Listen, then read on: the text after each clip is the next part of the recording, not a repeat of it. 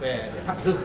thì hai tháng đầu năm 2017 toàn ngành dệt may Việt Nam đã xuất khẩu được 4 tỷ 3 đô la Mỹ tăng 13,58% so với cùng kỳ hai tháng đầu năm 2016 đặc biệt là trong cái xuất khẩu 4 tỷ 3 ấy, thì cái nhập khẩu của dệt may Việt Nam có 2 tỷ tư thôi. Như vậy là 50% là chúng tôi đã thẳng dư rồi. Điều đó thể hiện rằng là cái bước tiến của dệt may Việt Nam không những là chúng tôi giữ được cái, cái tầm cái vị thế nhưng mà đặc biệt là cái xuất khẩu chiến lược ấy nó đa dạng hóa mặt hàng. Đa dạng hóa một cái thị trường xuất khẩu của chúng ta. Và trong tình hình như vậy thì tôi cho rằng là cái mà chúng tôi quan tâm nhất là cái thặng dư phát triển thương mại của từng lĩnh vực ngành ấy, trong đó có dệt may ấy, thì cái lĩnh vực mà cốt lõi nhất là chúng ta phải nghĩ đến vấn đề là chiến lược phát triển xây dựng những thương hiệu của chúng ta ra thị trường thế giới.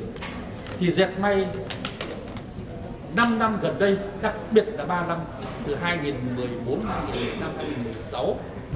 chúng ta hầu hết những cái mặt hàng chiến lược xuất khẩu chúng ta đã có những cái chiến lược vấn xuất khẩu về để thương hiệu rồi phát triển thương hiệu rồi. À, tôi nói là toàn bộ cái xuất khẩu của cái ngành sợi trên 3 tỷ đô la Mỹ xuất khẩu sợi của chúng ta đấy thì bây giờ hầu hết là chúng ta xuất khẩu sợi trên thương hiệu của từng doanh nghiệp một.